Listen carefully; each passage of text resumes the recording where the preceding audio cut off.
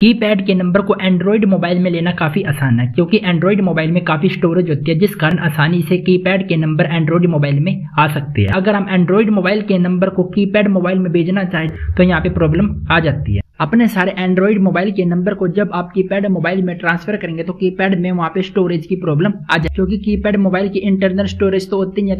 तो वहाँ पे सारे नंबर एक साथ नहीं जा पाते। तो अगर हम कीपैड मोबाइल में एक एक नंबर सेव करने बैठेंगे तो काफ़ी टाइम लग जाएगा। इससे बेहतर है कि हम एक साथ सभी नंबर को मोबाइल में सेव कर ले। तो एंड्रॉइड मोबाइल से कीपैड मोबाइल में तो ऐसे डायरेक्ट तो ये पॉसिबल नहीं हो सकता। तो हमें दूसरा मेथड ही अप्लाई करना होगा। तो जो सिम आपकी कीपैड मोबाइल में लगी हुई है वो सिम आपको थोड़ी देर के लिए टच मोबाइल में लगा लेनी है।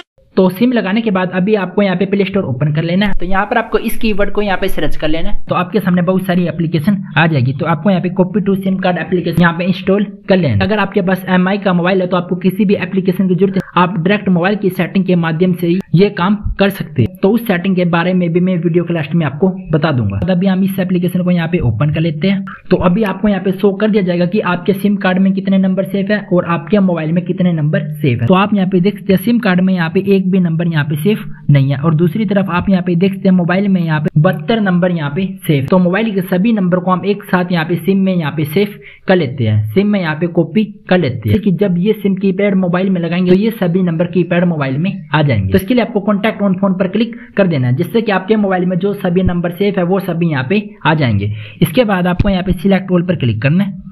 तो आपके सभी नंबर यहाँ पे सिलेक्ट हो जाएँगे इसके बाद आपको यहाँ पे कॉपी के आइकन पर यहाँ पे क्लिक कर देना है तो आपके ये सभी नंबर एक क्लिक में यहाँ पे आपकी सिम कार्ड में यहाँ पे कॉपी हो जाएँगे तो अभी आप यहाँ पे देख सकते हैं दोनों तरफ़ यहाँ पे 72 टू कॉन्टैक्ट यहाँ पे दिखा रहा है तो अभी हमारे मोबाइल के नंबर यहाँ पे सिम कार्ड में यहाँ पे कॉपी हो चुके हैं तो इतना हो जाने के बाद मोबाइल से दोबारा से सिम निकालिए और दोबारा से अपने अपने कीपैड मोबाइल में लगा लीजिए तो आप यहाँ पे देखते हैं मैंने ये सिम दोबारा से अपने कीपैड मोबाइल में यहाँ पे लगा लिया तो चलिए अभी मैं आपको यहाँ पे कीपैड मोबाइल के यहाँ पे कॉन्टैक्ट लिस्ट दिखा देता हूँ। अगर आपने स्टार्टिंग में गौर की हो तो आपको पता होगा कीपैड मोबाइल में कुछ ही नंबर सेफ़ थे। अब मैं आपको यहाँ पे कीपैड मोबाइल के यहाँ पे कॉन्टेक्ट लिस्ट दिखाना चाहूँगा। आप यहाँ पे देख सकते हैं जो नंबर हमारे एंड्रॉइड मोबाइल में सेव थे वो सभी नंबर यहाँ पे एक साथ कीपैड मोबाइल में यहाँ पे आ चुके हैं।